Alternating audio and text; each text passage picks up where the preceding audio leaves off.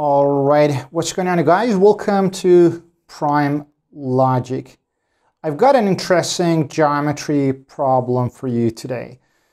Uh, so if, if you want to solve this problem, uh, just pause the video because I'm going to start and I'm going to solve this problem right now. So we have two, two circles that are tangent to one another. And there is uh, there is one tangent line also here, which is tangent to both circles. And there, there, there is a little square that is kind of trapped and inscribed here. So we want to solve and we want to find the area of this square. So obviously we should find one of the sides of the square at first. So let's, let's start now. So we know that each radius is 10 units. So if you draw a line here, another radius to the vertex of this square, we know that this is also a radius of 10 units. If you also draw a radius to this side, to, to this uh, tangent line here, it is also 10 units. And if we extend, so let's extend one of uh, this, the side, this upper side of this square parallel to this tangent line now so that it, it intersects uh, this radius here. So if this is 10, this is also 10, but if this is x, because this is one of the sides of this uh, square, then this, this should also be x.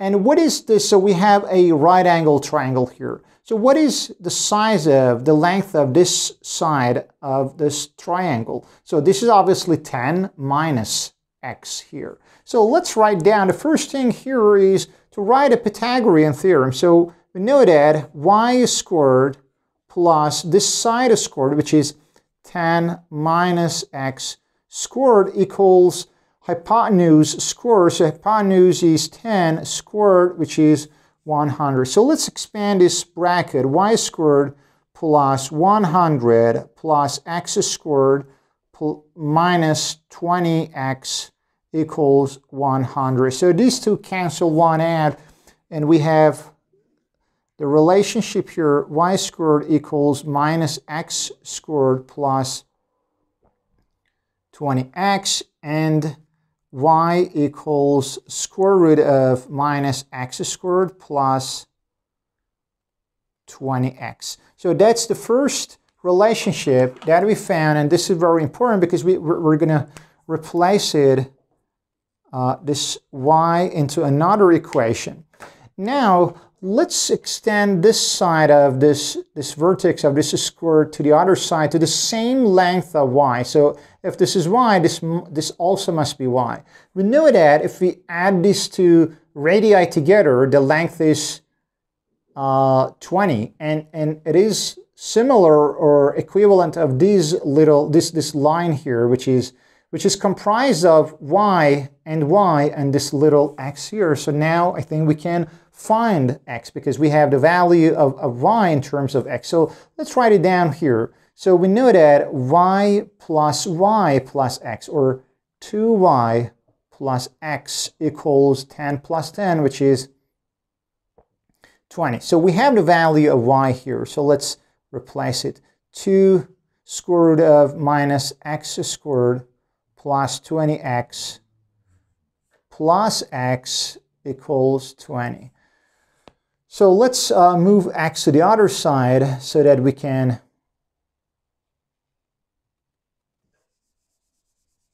kind of raise uh, both sides to the power of 2. So equals 20 minus x, right? So I just moved x from this side to the other side. So let's uh, raise both sides to the power of 2. So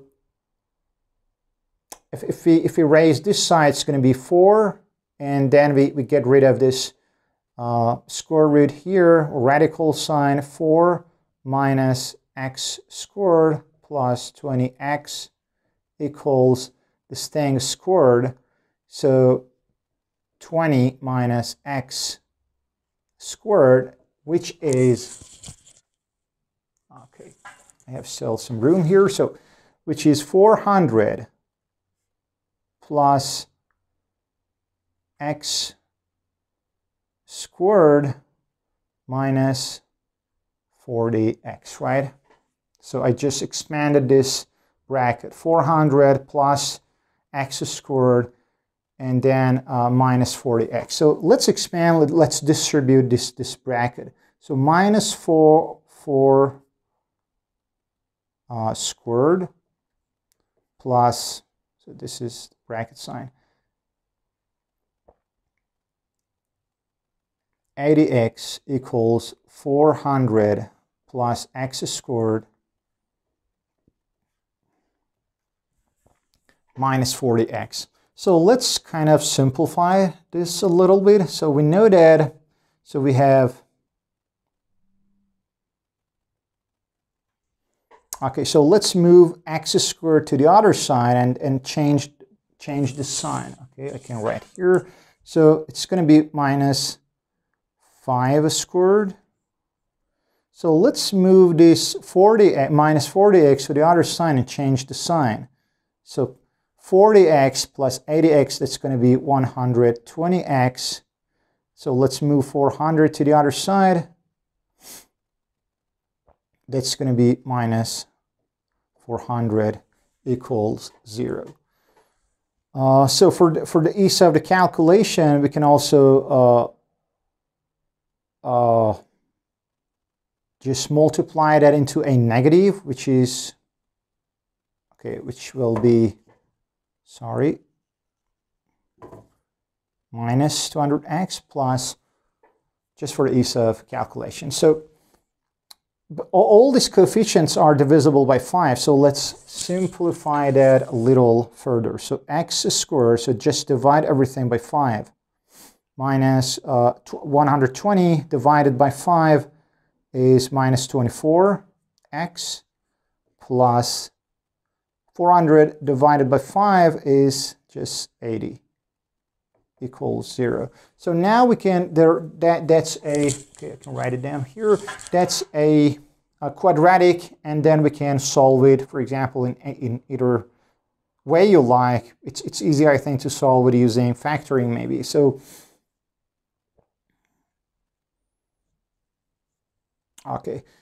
So using the factoring, we know that uh, two numbers whose sum is minus 24 and uh, whose product is 80. So that they both must be negative. So minus 20 and minus 4, if we multiply them, that's going to be 80. If we uh, add them together, it's minus 24. So let me write it down here.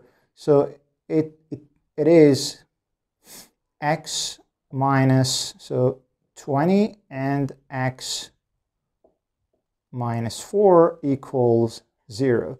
So either x equals 20 or x equals 4. So x equals 20 cannot be our answer because the, the, uh, this addition, the whole length of these two radii is, is just 20. So x alone cannot be 20. So x4 is our only answer. And what is the area of this square. So area is just uh, the side, one of the side squares. So 4 squared, which is going to be 16. So, okay, so that's going to wrap it up for today, guys. Uh, that was an interesting geometry that I found, and I think uh, there must be other solutions. So use your intuition and write down your solutions as well in the comment sections below. Drop your thoughts in the comments below as well. And make sure to subscribe if you haven't already. Uh, and, and, and make sure to, to like and comment. Uh, and uh, as, I, as, as, always, I, I love you guys. I appreciate you guys. And uh, see you in our next video on prime logic.